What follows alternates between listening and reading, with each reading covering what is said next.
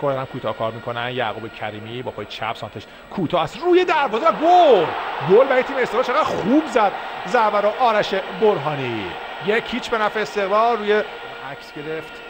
خیلی خوب. قطع کرد این توپو. با هم نگاه اینجا زد. ضربه ناگهانی آرش برهانی. روی این پاس یعقوب کریمی اینجوری حساب کار رو یک بر صفر کرد به نفع استقلال. با موقع کرار میفرسته. تو روی دروازه. تو رد میشه و اون گوشه محوطه جریمه می‌رسه به آرش برهانی برای محمد قاضی و اعلام پنالتی.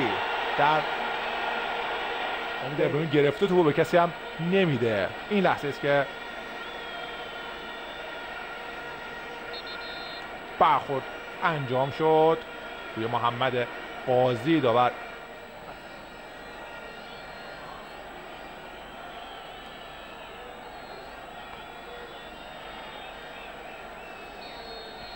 امید ابراهیمی. زبر رو می‌زنه گوشه دروازه و گل دوم. گل دوم برای تیم استقلال توسط با هم اینجا ضربه رو زد. درست به گوشه دروازه.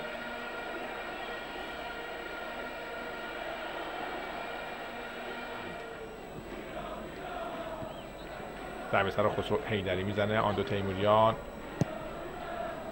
تو میندازن به فخر چقدر خوب تو با گره مقطع بازیکن استقلال چه فضایی داره اونجا. سجاد شهباز داده. تو سر توپ می‌زنه. حالا برای محمد قاضی و این ضربه و گل سوم. گل سوم. زمین یا نه؟ این سجاد شهباز داده است. این توپ انداخت برای قاضی. یک کنترل با کف پا و ضربه دقیق او به گوشه دروازه. اعتراض تارتا به اون توپ اول بود که فخدینی لب خط از اسدی دزدید توپو.